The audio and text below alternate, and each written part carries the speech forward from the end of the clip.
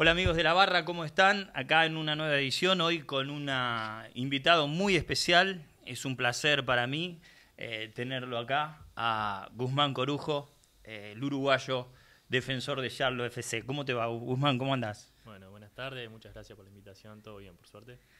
Bueno, lo primero que quería preguntar para que te conozca un poco la gente, eh, ¿de qué parte sos de Uruguay? ¿De qué, ¿Dónde naciste? Yo nací en Rodríguez. Rodríguez es un, pueblito de 5.000, 6.000, 6.000 habitantes que está en el departamento de San José. Eh, es un departamento que está muy cerquita de la capital, a unos 90 kilómetros de la capital de, Uruguay. Y ahí, eh, un club de barrio, ¿dónde empezaste a jugar? Claro, en, el pueblo, en, Rodríguez, eh, hay un equipo de baby fútbol, en el cual yo empecé cuando tenía cuatro años a jugar ahí. Y, hice toda la etapa de, mi niñez jugando ahí, desde los cuatro hasta los 13. Este, jugué ahí y, nada, jugás con los amigos del barrio, con, con los amigos de, del pueblo, que, sin duda que son recuerdos que te quedan para toda la vida. ¿Y cuándo vas a, Nacional? ¿Por qué, ¿Por qué vas a Nacional? ¿Quién te lleva? Bueno, yo cuando estaba en la, la penúltima categoría de, baby fútbol, eh, me citaron a la selección del departamento, la selección de San José, y se jugaba un torneo de, de selecciones este, el cual a nosotros nos tocó jugar con la selección de Juan Lacase, que es una selección que pertenece a Colonia, eh, la selección de Rosario también que pertenece a Colonia, y una selección de Montevideo que se llamaba Liga Parque, eh, la cual era dirigida por un captador de Nacional, este, el Pato López, la verdad que un amigo el Pato, eh, fue quien, quien se puso en contacto con mi viejo, ya también había otro, otro muchacho de ahí de, de, de, San José que estaba yendo y, por ahí también hicieron el contacto. Y, bueno, y a partir de ahí empecé, eso fue casi en octubre, eh, empecé a ir una vez por semana, a empezar a ver cómo era, porque realmente era chico y todavía me quedaba un año de, baby fútbol. Eh, mi papá me llevaba, me esperaba que, entrenara y, bueno, ya el siguiente año eran dos veces por semana, mientras terminaba el baby fútbol en el pueblo. Y por suerte me fichó el, club, me fichó Nacional y, ya el siguiente año ya pude empezar a lo que es las divisiones formativas que ya con, cuando empezó con séptima. ¿Tu viejo futbolero? ¿Tu viejo había jugado? Eh, mi familia futbolera. Mi familia ama el fútbol eh, y es algo a lo que yo voy a estar agradecido toda la vida porque no es que me hayan obligado a jugar, sino que todo lo contrario. Y me bancaron en todo momento. La carrera del jugador de fútbol es es muy incierta, es dificilísima. Eh, y, ellos me bancaron en todo momento.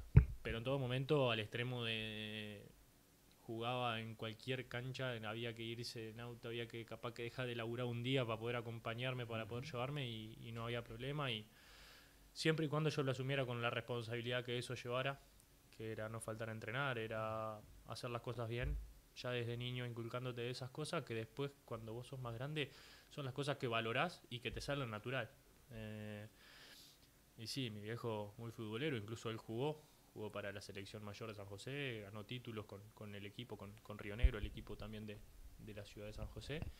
Y, y bueno, también por eso es que, que, se, que pasa un poquito la, las costumbres y, el amor por el fútbol.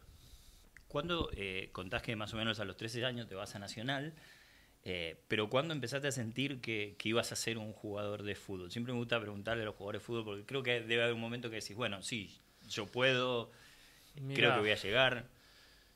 Yo siempre soñé con ser jugador de fútbol desde chiquito. Eh, creo que todo niño que empieza a patear la pelota y que entra a una cancha de fútbol sueña con, con jugar al fútbol y ve fútbol por la tele y decir yo quiero jugar, yo quiero estar ahí, yo quiero vivir de eso. Pero como te decía, la carrera del jugador de fútbol es muy incierta y yo recién me di cuenta que, podía ser para mí en un momento que tuve que tomar una decisión. Eh, yo estaba en tercera y, y realmente no, no, estaba teniendo la oportunidad de, subir al primer equipo, ni siquiera hacer una pretemporada para poder mostrarme. Y, y me había salido una oportunidad para irme a un equipo de segunda, a, hacer un poco de fútbol, tener más fogueo con, con gente grande pero yo sabía que si tomaba la opción de irme al equipo de segunda, tenía que enfocar mi cabeza más en seguir estudiando, porque pasaba a ser la prioridad. y decidí apostar una vez más al fútbol.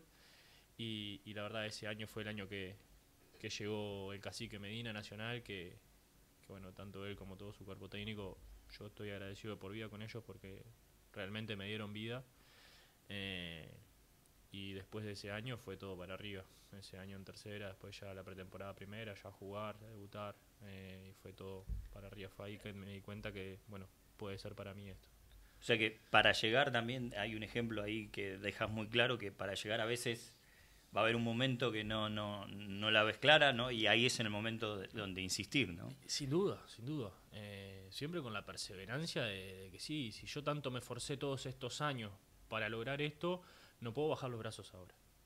Y esos son los momentos en los que a veces hay gente que queda por el camino y hay otra que le da una vueltita más a la tuerca y dice, no, yo para esto me preparé y, y yo quiero esto. Uh -huh. eh, pero son momentos muy difíciles porque es muy incierto y también son edades complicadas porque capaz que vos decís, no, y si dejo de estudiar y capaz que, y, y si no me va en esto y, y, si capaz que si le meto a esto y, o, o, empiezo a estudiar de una y, no le meto tanto a esto. Entonces son decisiones muy difíciles en momentos muy complicados, pero, pero bueno, yo la verdad no me arrepiento de nada. Eh, también lo que hablo con mis viejos siempre del agradecimiento que me hayan inculcado el estudiar que cuando era muy incierto el fútbol y era toda la etapa formativa, era la obligación era el estudio y después de eso el fútbol. Y, y me permitió eso terminar la secundaria, que, que quieras o no, también te da eh, ciertos valores eh, y también te prepara para el mundo fútbol. Uh -huh. Te prepara para este tipo de instancia, uh -huh. te prepara para entender cuando el entrenador explica un ejercicio, eh, para ser capaz de entender cómo juega un rival o de mirar cómo juega un rival te prepara desde muchos aspectos. Este, uh -huh. Entonces está bueno que ese detalle no se descuide, que a veces lo, lo, los niños como que... Sí, sí, sí, no pasa nada. Dale. Que a veces los niños eh, lo dejan de hacer pensando en que no, no van, no, no, pueden ir de la mano las dos cosas y, y, nada que ver. O sea, te forma desde todo punto de vista. Eh, antes ya de venir para acá, para, para Charlotte, eh, te hace debutar el, el cacique Medina, hoy Talleres de Córdoba, haciendo una campaña impresionante en la Argentina.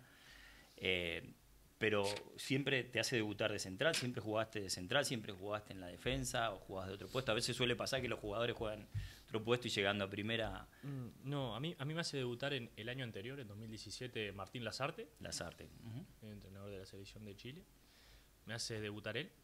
Y, y jugué, creo que fueron 3-4 partidos en, en el año y los demás partidos que no jugaba o que no estaba en el plantel, pedía para bajar a tercera, que era dirigida por el cacique, por esa relación que habíamos formado que te contaba antes, que, que yo sentía que yo necesitaba devolverle a él la confianza que me había brindado.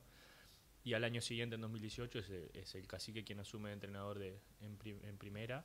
Y, a partir de ahí fue que empecé sí ya a afianzarme en el primer equipo y siempre de central, sí. Eh, por un lado por el otro, pero o en una línea de tres, pero siempre en, esa zona central. Bueno, y a partir de ahí, bueno, ¿cómo, cómo, cómo decidís venir a Charlotte FC, club nuevo? Eh, sabemos que habías tenido algunas propuestas, otras propuestas para ir a otros clubes, eh, se habló de Brasil por ahí, eh, pero ¿cómo tomaste finalmente la decisión? ¿Qué te atrajo de venir a, un equipo que va a empezar? Sí, sin duda tuve tuve varias ofertas de, desde otros mercados que también eran bastante importantes, eran bastante seductoras, pero me terminé decidiendo por acá.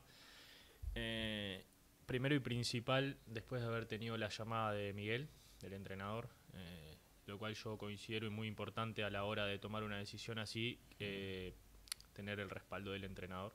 Esto no quiere decir que, que vaya a jugar o que no, eso uh -huh. va a depender totalmente de mí de responderle a él esta confianza que me está brindando. Pero siempre está bueno tener el respaldo del entrenador. Y, y después me sedujo mucho la propuesta de Charlotte. Me sedujo que sea un equipo nuevo. Me sedujo venir a, a pensar a escribir la historia uh -huh. eh, acá. Es un desafío hermoso. Eh, y yo creo que, que, que la vida se trata de eso. De desafíos, de cosas nuevas, de arriesgarse y, y, bueno, y eso fue lo que más me sedujo, eh, aparte de que vi que era un club muy organizado, que tenía las cosas muy claras y, y, obviamente que eso también es más fácil después a la hora de jugar, que todo lo de afuera esté en orden y que sea solo concentrarse en, en jugar Este, eso me sedujo muchísimo, pero sobre todo el desafío, el desafío de algo nuevo, el desafío de, escribir la historia. Pero sabes que venís, eh, un riesgo, vamos a esperar que el club le vaya bien, que queremos que todo le vaya, el club le vaya bien, pero sabes que las críticas pueden ser muy grandes si no te va bien, por eso el riesgo es grande también, de haber ido a un equipo fuerte de Brasil, de eso también sos consciente de eso. Sin duda, sin duda, pero yo creo que, la crítica es parte de...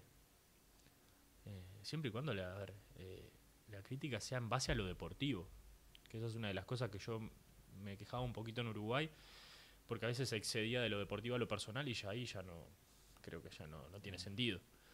Eh, siempre y cuando la crítica sea lo deportivo, es parte de... Si yo juego mal, ¿por qué no me lo vas a decir? no, si yo juego mal, me lo tenés que decir por más que yo lo sé, porque cada jugador tiene autocrítica y cada plantel tiene autocrítica y se da cuenta, capaz que acá no hicimos las cosas tan bien. Pero es parte de, la crítica es parte de, y hay que saber convivir con eso. Eh, pero a mí me encanta este tipo de desafíos, me encantan. Eh, siempre me gustaron. Eh, si bien yo jugué en, un club solo, siempre que había un desafío nuevo era como que sí, se renovaba la energía y la sangre corría a más no poder y era así, vamos y vamos con todo y vamos para adelante. Eh, ¿qué, es lo que más te dolió de las críticas? Sabemos tuviste mucho. ¿Qué es lo que más te dolió de parte de la gente? De, porque imagino que debe ser duro para alguien que, es tu casa, porque es tu casa. Una cosa es jugar en dos o tres clubes y otra cosa es haber jugado eh, en un solo club y que, que, hayas recibido muchas críticas por eso. Sí, la verdad, fueron momentos bastante complicados. a mí me dolió básicamente que se dijera que yo no quería el club o que no respetaba el club. Eh, porque, como te decía, criticame de lo deportivo. Si yo en algún momento sentiste que no di todo por la camiseta, que yo no defendí la camiseta como se merecía, vení y decímelo. Eh, o si no puse la actitud correspondiente en, en alguna situación. Pero yo, bueno, haciendo un balance un poquito de lo que fue mi carrera nacional, creo que me caractericé desde el momento que empecé por la actitud, por afrontar cada desafío con, la máxima responsabilidad posible, más allá de los rendimientos, porque es fútbol y vos podés jugar mal, porque te levantaste mal un día y podés jugar mal. Podés cerrar un pase, podés no rechazar una pelota y que termine en gol.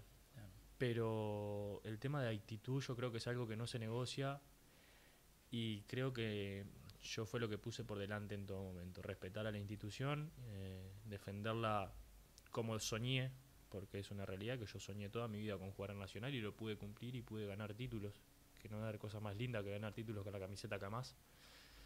Eh, pero por ahí lo que me dolió fue eso.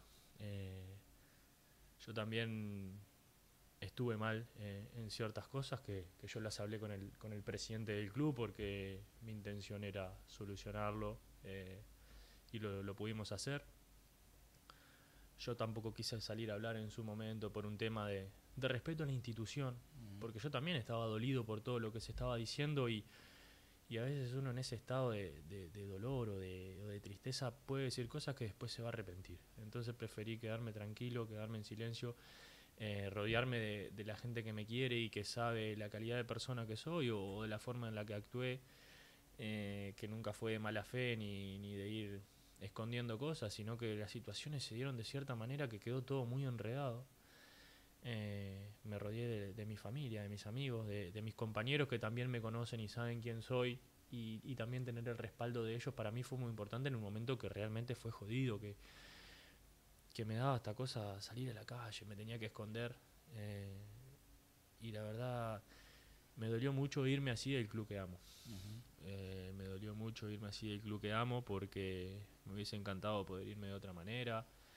Eh, y el hincha es duro, te quiere acoso y después con la información que recibe a veces eh, también, él se queda con lo que recibe. También fue que, al, no salir a hablar yo, a ver, es lógico, si una parte no sale a hablar, vos te quedás con la parte que salió a hablar, es verdad. pero también se dijeron cosas como que yo no, no, le, había no le iba a dejar dinero al club, cuando yo hacía un mes había dado una entrevista en la cual dije que mi intención era esa. Después las situaciones se dieron de otra manera. Pero lo que la gente no en realidad no sabe es que yo le dejé dinero al club, que yo resigné mucha plata que tenía en premios con el club, eh, más meses de sueldo que también tenía en mi contrato firmado y que yo la dejé al club y no porque se estaba diciendo que yo no quería dejarle nada y no, entonces le dejo porque no, Sí, sí. lo hice porque realmente de corazón yo, Claro. yo quería dejarle algo a la institución por más mínimo que sea esa plata capaz que se podía arreglar un vestuario de juveniles capaz que se podía comprar eh, materiales para los juveniles. O hoy en día en, en los céspedes se están haciendo muchas obras aportar un poquito.